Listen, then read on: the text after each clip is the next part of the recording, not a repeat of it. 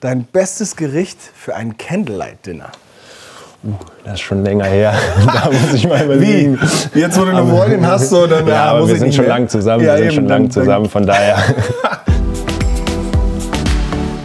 Heute bei mir zu Gast Steffen Tigges. Ich freue mich sehr, Steffen. Schön, dass du da bist. Ich freue mich auch, danke. Was darf ich dir denn an Kaffeespezialität zubereiten? Hm, Spezialität brauche ich gar nicht. Einen schönen schwarzen Kaffee, das wird mir schon reichen. Ich mag es, wenn es einfach ist. Insofern äh, kriegst du den natürlich sehr, sehr gerne. Ja. Du kommst ja aus Osnabrück, wie ich gelernt habe. Ja, Da habe ich auch mal Fußball gespielt. Ne? Ja, ich Aber ich weiß. glaube, da warst du noch zu klein, um Da war ich das. zu äh, klein, aber ich wusste es auf jeden Fall. Wenn du äh, auf Heimatbesuch bist, dann musst du ja auch eine ganze Strecke A1 fahren. Brauchst du da auch so ein Käffchen to go oder? Ja, ab und zu mal, aber auch gerne mal nach dem Training noch schnell vorher ein Espresso oder so. Hm. Das ist auch mal ganz angenehm. So, das sieht schon mal ganz ordentlich aus. Danke dir. Du, jetzt mache ich mir auch noch einen Kaffee und dann machen wir vorne weiter. Perfekt.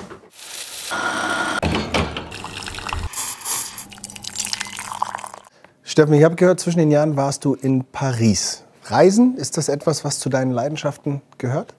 Ja, generell schon. Klar, durch Corona war man die letzten zwei Jahre ein bisschen eingeschränkt und auch durch Fußball ist es nicht, zeitlich nicht immer ganz einfach, äh, da auch Zeit zu finden, aber vor allem neue Leute, neue Orte kennenzulernen, neue Kulturen auch kennenzulernen, andere Sachen zu sehen. Das ist auch mal neben dem Fußballalltag auch mal ganz schön, da ein bisschen rauszukommen. Du hast ja noch ein bisschen Karriere vor dir, aber glaub mir, wenn das dann mal äh, vorbei ist, dann hast du mehr Zeit dafür und da kommt dann noch einiges auf dich zu, kannst dich schon drauf freuen. Welche Leidenschaften hast du denn außerhalb des Fußballs noch? Also nimm mir das Reisen jetzt mal weg, aber gibt es da andere Hobbys oder was anderes, wo du, wo du deinen Kopf mal ganz woanders hin lenken kannst mit? Ja, was heißt Hobbys? Ich studiere ja nebenbei noch. Das äh, beansprucht natürlich auch äh, gewisse Zeit und auch mal ein bisschen runterzukommen, vom Fußball wegzukommen, ein bisschen an andere Sachen zu denken, aber sonst halt sich mit Freunden zu treffen, auch mal im Café einen schönen Kaffee zu trinken, ein bisschen rauszugehen und dann vielleicht auch mal die eine oder andere Serie, ein bisschen zu zocken, sowas. Also Welches ganz Fach normal. studierst du? Äh, Sportmanagement studiere ich. Sehr gut. An der Fernuni dann. Ja, genau, das passt dann am besten einfach neben dem Fußball. Kann man sich da relativ flexibel die Zeit einteilen und das passt dann schon immer ganz gut. Warum genau Sportmanagement oder Sportbusiness? Also ist das vielleicht ein anderes Standbein, was du danach mal machen willst, dich da um Sportler, Fußballer, wie auch immer, Profis zu kümmern? Oder war das einfach, weil es nah am Sport war und möglich war, die Lösung, die du gesucht hast? Ja, auf der einen Seite ist es natürlich naheliegend, einfach im Sport zu bleiben, weil es einfach das ist, was mich interessiert, was meine Leidenschaft ist. Und auf der anderen Seite finde ich es einfach auch spannend, so den anderen Bereich vom Fußball auch mal zu sehen, neben dem Sportlichen dann auch einfach mal so in dieses Wirtschaftliche reinzugehen und dann später auf jeden Fall dann auch ein Standbein äh, für nach der Karriere zu haben. Vielleicht dann mal so in der Sportvermarktung in die Richtung äh, zu arbeiten, auch danach. Die richtigen Verbindungen lassen sich bestimmt knüpfen, auch schon während der aktiven Zeit. Vielleicht auch. Funktionär oder sowas. Nee, das wäre ja nichts Kannst du beim. Kehli mal ein bisschen was lernen später. Lernen bestimmt, aber nee, das wäre ja nichts für mich. Ja, wer weiß. Ich will's nicht ausschließen, Da kommt aber- ja noch ein bisschen was. Ja, vielleicht. Ich weiß natürlich auch, äh, dass du ein riesen Football-Fan bist. Ähm, da gab es ja so Fantasy-Ligen und sowas. äh, Deswegen weiß ich das. Ja, will ich nicht drüber reden.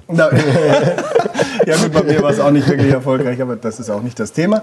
Ähm, aber für, für so Spiele bist du so Fan, dass du dir auch die, die Nächte mal um die Ohren schlägst, wenn, wenn da coole Spiele anstehen oder Playoffs sind und sowas? Bleibst du dann durchaus mal die Nacht wach?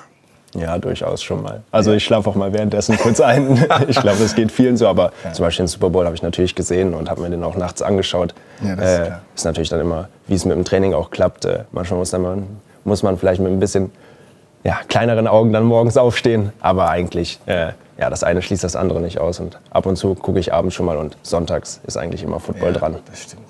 Jetzt äh, haben wir auch ein anderes Erlebnis, denn ich fordere dich zu einer kleinen Schnellfragerunde heraus. Dein Nummer 1 Reiseziel auf deiner Bucketlist. Mm, Schon die USA. Ich wollte vor Corona hin, dann durch Corona wurde es leider verhindert, äh, dass ich nicht fliegen konnte mit meiner Freundin. Und die USA, so New York, Miami, sowas alles, würde ich schon gerne mal sehen. Okay. Präsentationen halten oder Klausuren schreiben? Klausuren schreiben lieber. Also ich bin nicht so gerne im Mittelpunkt. Glaubt man nicht, aber so dann auch noch freimündlich vortragen in der Schule war es nie so meine Stärke. Vielleicht habe ich mich auch nicht gut genug vorbereitet.